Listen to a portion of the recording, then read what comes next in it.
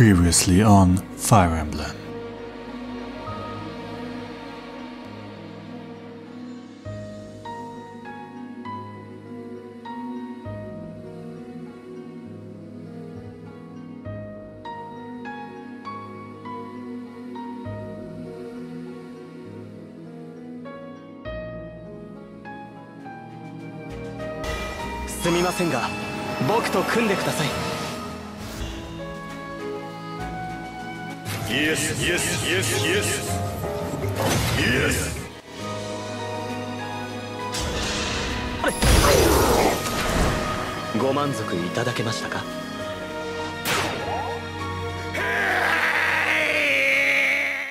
everything I've tried, in the end, it was no use.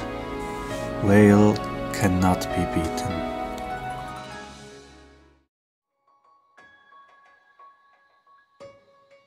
But please, dear Fire Emblem comrades, join me on my long journey where I tried everything. And in case I didn't, let me know. You know, I have a tendency to overtrain my units. I just like to farm until they are strong as they can be. That's why I wanted to try and beat Veyle in this chapter. I was overjoyed to find so many people showing interest in my previous video and lot of nice comments with good ideas what I could try. So this time I'm going all out. Not just with Fire Emblem but also with my production value. So sit back and enjoy the most comprehensive Veyle beatdown I can bring to you.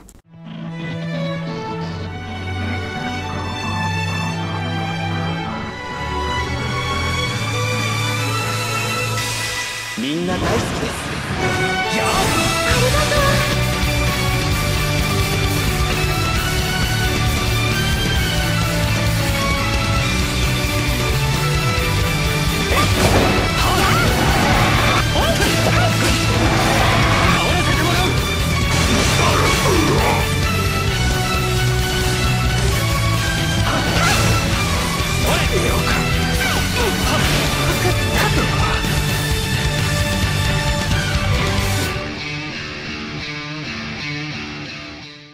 the first video we confirmed that she won't take any regular damage.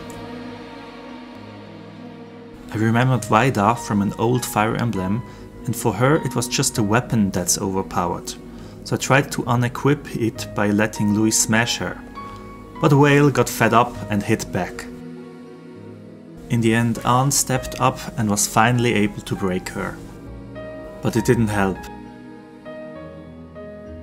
In the next video I tried an extended test. I was able to use DLC characters to deal flame damage to her, but unfortunately she wouldn't go down either, so it was time for another training journey. With update 1.2 new DLC characters were released, so we're gonna visit Soren, Hector and big sister Camilla. You know, with only the resources from chapter 10, the DLC maps are actually quite challenging. The first map I did was Soren's. This map is a real hard combination of tough units and annoying environment effects. Next stop was Hector's map. Much simpler than Soren's, although the poison effect is very hard to avoid and the enemies are rather strong. Just look at this guy. 58 physical attack? That's even dangerous for my tanks. And last but not least, Camilla. Oh big sisters, save us all. Her ability to target my weakest units seems unsurpassed. I was especially looking forward to her because of her special ability that allows after a critical to deal extra damage. After that I farmed skirmishes for a while until they were getting really hard. For example here we have a level 5 promoted class encounter while most of my units are still stuck being unpromoted. Anyway, let's start chapter 10. But first, Let's polish some ring. Or rather not, traitors all, I'll only polish the bracelets. Just look at them frowning. Maybe that's why they betray me. Since I can't change the lineup in the next chapter, I have to carefully consider what I'll bring here already.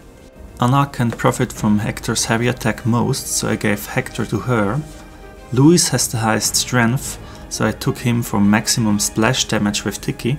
Diamant is our backup attacker for chain attacks. Sean is my strongest mage, so I gave him Soren. Yunaka will hopefully crit Veyle from the forest with her skill, so I gave her Camilla. I also gave Camilla's skill to Alfred, together with a killer lance. And lastly, Alcryst will apply all the gambits from a safe longbow distance. So with that I should have everything I need to show poison, fire and effective damage, chain attacks, splash damage, damage reflection and Camilla's after crit damage.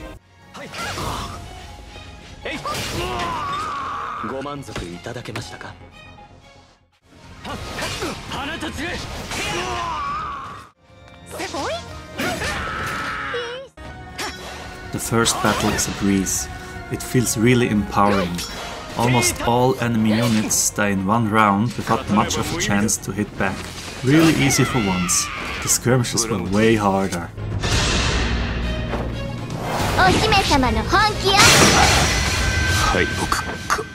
And right after I thought that, the game decided to serve some humble pie. I should remind myself that overconfidence is a slow and insidious killer. Anyway, we decided that that never happened, First, we face off against the Good King in a really dramatic scene. 森王。生きて城に戻ったら手合わせをしようと私にそうおっしゃってくださいましたね。できるならこんな形ではなくあの城で剣を交えたかった。行きます。せめて全力であなたを止めてみせる。遅いです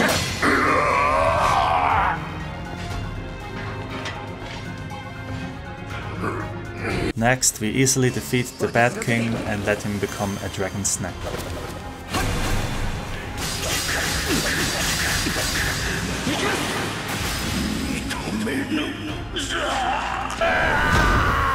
So, and now it's finally time. Chapter 11. The chapter we are supposed to run away from Veyle. No, Alfred, shut up! I trained for this, I won't run away. I will beat her up. Damn spoilers. Just look at her. Just look at her. Standing there. Menacingly. menacingly So, easy part first. The two of the dark worms. They look really scary and really strong. First I thought you almost can't get past them, but with a little bit of training, we first start off by easily smashing them both. Damn, the enemies near Veyle move. I needed them for the splash attack. I guess I need to restart. This time I use warp to get close. Just look at that preview. I thought I had it. I cried out in anger when it stopped at 1 HP. Well, here we have it. Splash damage doesn't work.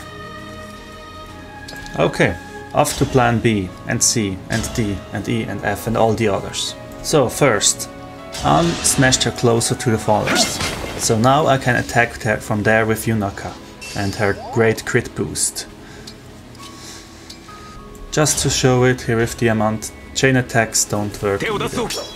Another thing that was raised was having a layer buff and unit by standing next, next to them.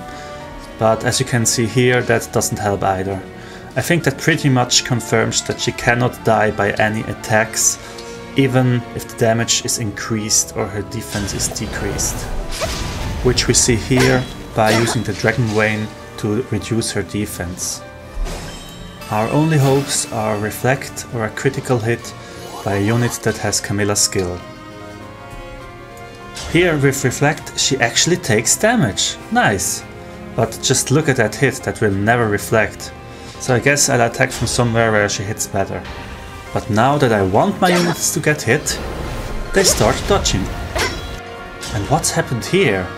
Why does she not reflect? He doesn't either? Even you, Anna? I thought it was bugged. But then I realized, as soon as Veyle would die from the reflect, it just gets deactivated. It took me a lot longer than I like to admit to realize that. Good move, developers. What is furthermore, I just would like to poison or flame Veyle as well, just to show that it doesn't work, but Shield Gambit gets in the way and gets in the way, finally the riot shows up. And here you see Poison Gambit, it actually works. Does it do anything? No, but she's poisoned, so at least we have that going for us. Oh, and in case you're not really sold on the points that she does not take damage in battle, here, let's try effective damage and smashing one more time. There we have Amir. That should do the trick, it's effective. Sadly not, still zero damage, even though she's poisoned. And just as a little follow up, yes, even at 1 HP, broken and poisoned, she still blocks all damage. I have been attacking her for a lot of rounds now, and I'm afraid she probably can't get crit. So let's do a little math. I went back and added my crit chances. I attacked her 43 times with Yunaka and 17 times with Alfred. Yunaka has a 15% chance for a crit and Alfred has a 41% chance.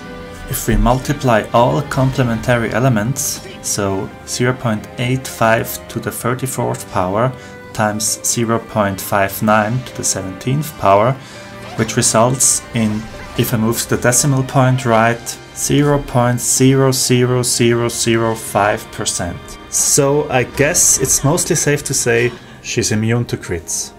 And that means she's also immune to Camilla's follow-up damage. There's just no way. But at least we got a little something. Look at Veyle now. Not so smug now, huh? Look at you. Poisoned, shock frosted, singed, and down to 1 HP. Okay, if I can't beat you, then I'll just beat them up instead. And here they come, her four little friends. Wow, I didn't expect that. They are really tough. And on top of all that, they all use magical attacks. And my best units are mostly physical tanks. That won't be much of help here. Just look at her. High speed and high attack. But even she goes down, eventually. Now for you, Emo Mage. You're really annoying. Know when it's us, we can only use Ragnarok once. But he? He just repeats it. That damn cheater. But even with cheats, my guys are just too overtrained for you. The last two were not that bad. You see that? I beat up your four guys. What do you want to do now? Just stand there? That's all you can do, right? I guess before I leave, let's do Lucina's chain attack. Now, all together.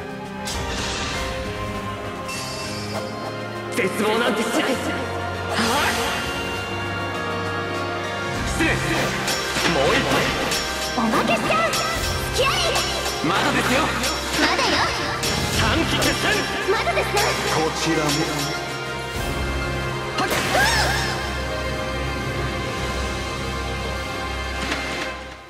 They tried their hardest. I tried my hardest. But of course, all damage is zero. But at least the last hit really looks like she falls down, doesn't it? Especially if you compare it to Astra Storm. She doesn't even twitch. I had to retreat. I guess the only winning move is not to play. Sorry everyone, I couldn't beat her. After all the battles, after all the tries, I still failed you all. I really hoped to find a way to defeat her. I hope you still enjoyed my video though. If I missed anything or anything other comes up that might work, let me know. It was a lot of work I must say. Not just to level all the units and to get all the footage, but to write a script and edit everything too. I must say, I have a whole new appreciation for all the YouTubers out there. I'm still quite new at this, and this is the first video. I did all the editing and voiceover myself, so feedback or ideas are appreciated. So, if you're interested in any future projects or just want to support me, I'm sure you know what to do. Anyway, thanks for watching, RPG Hardman out.